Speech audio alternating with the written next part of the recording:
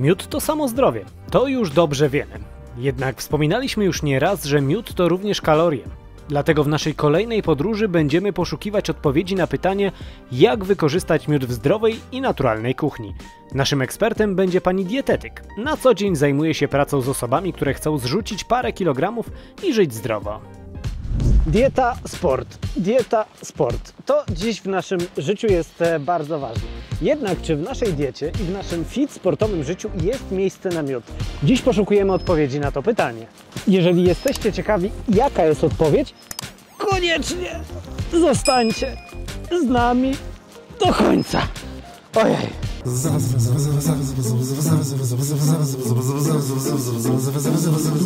Moi drodzy, jesteśmy u pani Karoliny Zapory, dietetyka. E, I teraz pytanie.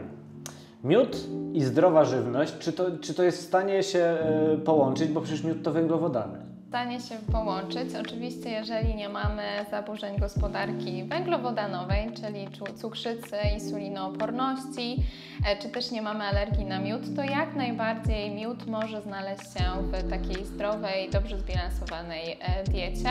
No tak jak powie, Pan powiedział, to głównie węglowodany, ale no tu najważniejszy jest umiar, no nie oszukujmy się, to jest klucz do sukcesu. Tak jak e, w dobrze zbilansowanej diecie wszystko w umiarze jest ok, tak samo miód będzie tutaj spokojnie w porządku. Miód składa się w większości z węglowodanów, a z czego jeszcze? E, Miód składa się także z wody, z minimalnej ilości składników mineralnych e, oraz witamin, głównie witamin właśnie z grupy B, ale tutaj na korzyść miodu, no nie oszukujmy się, są jego te substancje dodatkowe, czyli substancje czynne, które wpływają pozytywnie na działanie naszego organizmu. Więc teraz najwyższy czas wymienić te substancje czynne i na co wpływają. Więc po pierwsze, po drugie, po trzecie. Okej. E, Między innymi znajduje się aceto, acetylocholina, która będzie obniżała ciśnienie tętnicze krwi, więc będzie zmniejszała ryzyko nadciśnienia.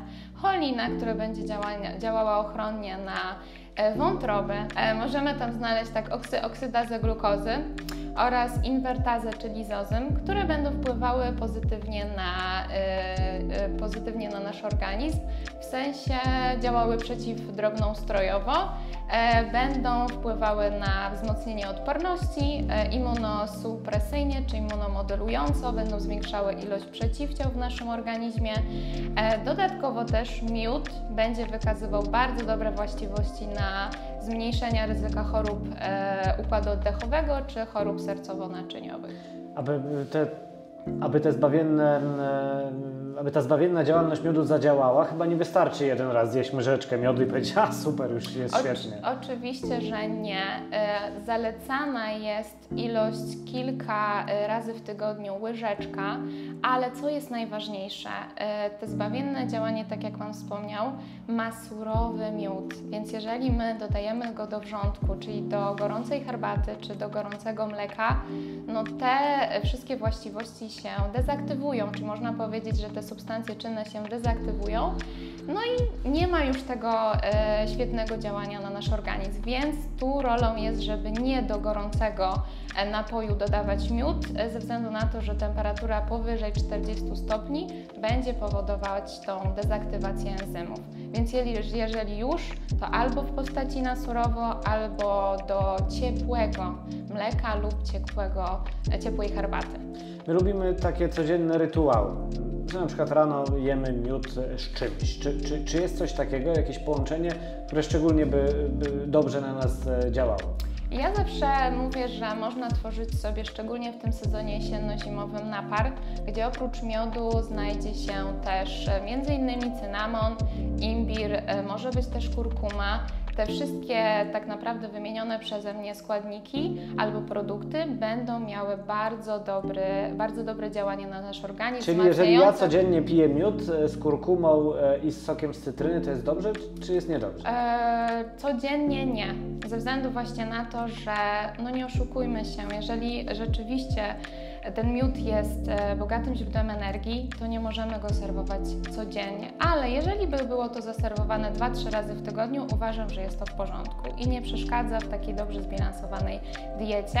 Miejmy to na uwagę, tak jak już wspomnieliśmy na początku, że jest to bogate źródło energii węglowodanów, więc nie przesadzamy z, tego ilość, z jego ilością w ten sposób.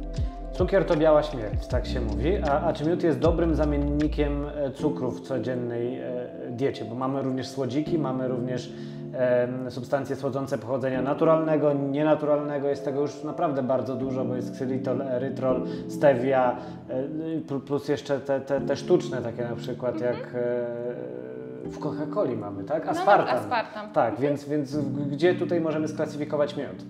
E, jeżeli, tak jak wspomniałam, nie jesteśmy cukrzykami, nie mamy insulinooporności i nie powinniśmy być na diecie z niskim indeksem glikemicznym i ładunkiem glikemicznym, e, to faktycznie miód może być dobrym zamiennikiem cukru. Dla tych osób, które wymieniłam, e, czyli cukrzyka na przykład, no miód nie jest dedykowany ze względu na to, że to jest strzał energetyczny i to jest skoncentrowane źródło węglowodanów prostych. Wtedy rzeczywiście poleca się słodziki, takie jak Pan wymienił, m.in. ksylitol, stewie czy erytrytol.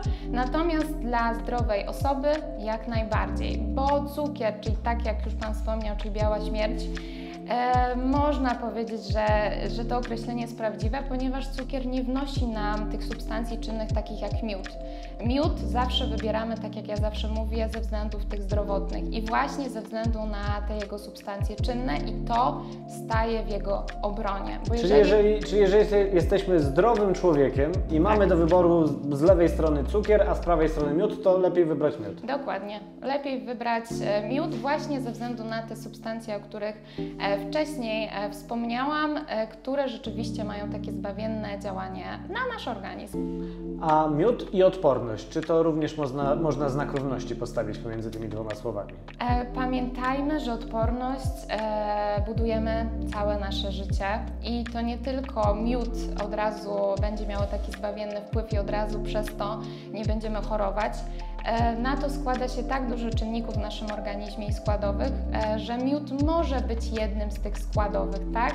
Że faktycznie w tym okresie, e, który mamy teraz jesienno-zimowym, może wspomóc, ale nie opierajmy tylko na tym, że dieta jest tak naprawdę źle zbilansowana, wysoko przetworzona i tylko dodając właśnie miód możemy spowodować, że od razu to nasza odporność się wzmocni. No nie, my budujemy to cały czas, cały rok, tak? Że cały rok rok i nie tylko miodem, ale też innymi czynnikami, aktywnością fizyczną, całą naszą dietą i składnikami, które się w niej, w niej znajdują. I tak już na zakończenie, bo e, nasza dieta e, wpływa również na to, jak wyglądamy nie tylko tak jakby fizycznie, nie na to ilość tkanki tłuszczowej, ilość kilogramów, e, ale także na wygląd naszej skóry, naszych włosów, paznokci. Czy, czy tutaj miód w czymś pomaga? Jest udowodnione w badaniach, że miód między innymi przyspiesza gojenie się ran, ran więc rzeczywiście na ten stan skóry. Zresztą przecież w kosmetologii miód jest bardzo często wykorzystywany jako składnik kosmetyków, więc jak najbardziej może mieć takie odżywcze działanie na, y, między innymi na skórę, gdyż jest to udowodnione właśnie badaniami.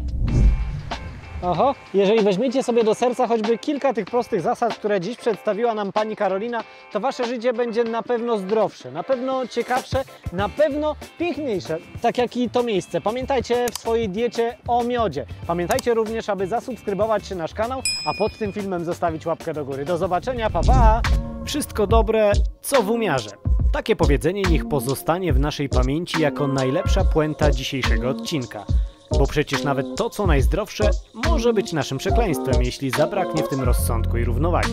Jednak będąc sprawiedliwym, jeżeli już ma być słodko, to najlepiej właśnie z miodem, bo zwykły cukier i jego zamienniki nie będą źródłem tak wielu dodatkowych i korzystnych dla naszego zdrowia składników. Zatem dbajcie o siebie i podążajcie dalej naszym miodowym szlakiem.